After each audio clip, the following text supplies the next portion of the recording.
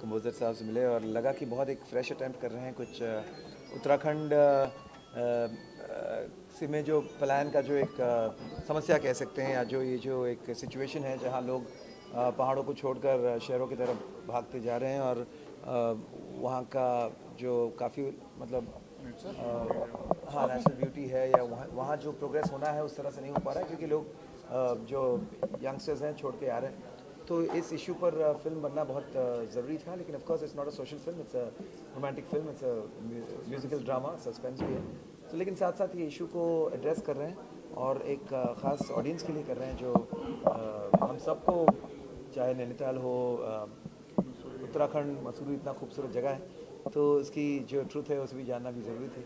तो गाने के ज़रिए, गानों में भी वही खुशबू है जो पहाड़ों की खुशबू है, बहुत प्यारा प्यारे गाने बनाए हैं सर ने। बहुत मज़ा आया। बहुत ही अच्छी जर्नी दिखाई गई है इसके अंदर। ऐसी कोई मेमोरेबल जर्नी है जो आप शेयर करना चाहें आज के वैसे उत्तराखंड में एक बहुत मेमोरेबल लेकिन थोड़ा डरावना जर्नी हुई थी। मेरी हम लोग गए थे कभी वो हनुमान जिला के पास कुछ शूट करने के लिए किसी टीवी सीरियल के लिए एक गाना गाना था मुझे।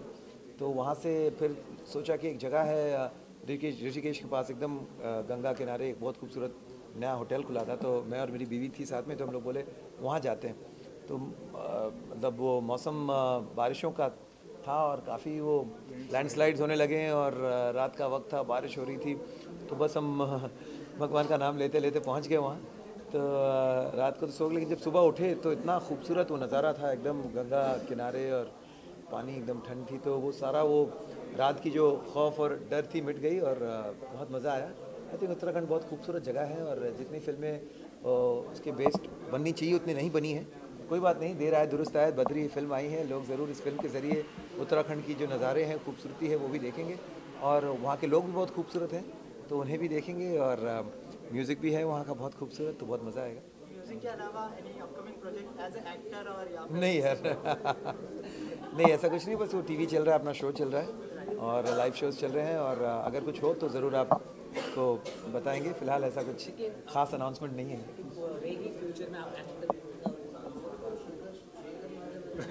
कौन सा रहेगी हाँ? नहीं ऐसा कुछ तो है नहीं। मुझे तो कुछ नहीं पता कि सब एक आध बार कर लिया था गलती से तो वो ठीक से नहीं हुई थी फ़िल्म।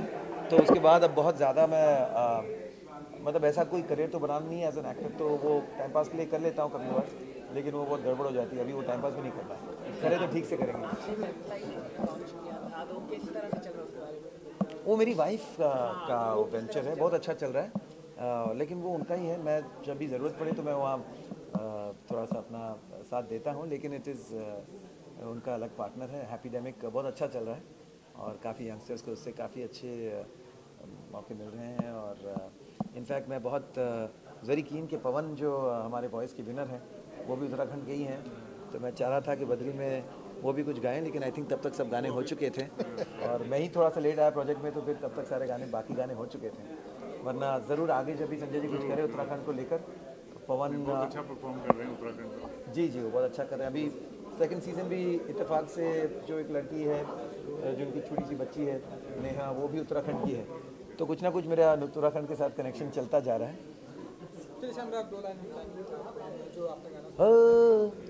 उड़ी रे उड़ी रे उड़ी उड़ी रे पवन संग बदरी पवन संग बदरी उड़ी रे उड़ी रे रे उड़ी रे उड़ी रे उड़ी उड़ी रे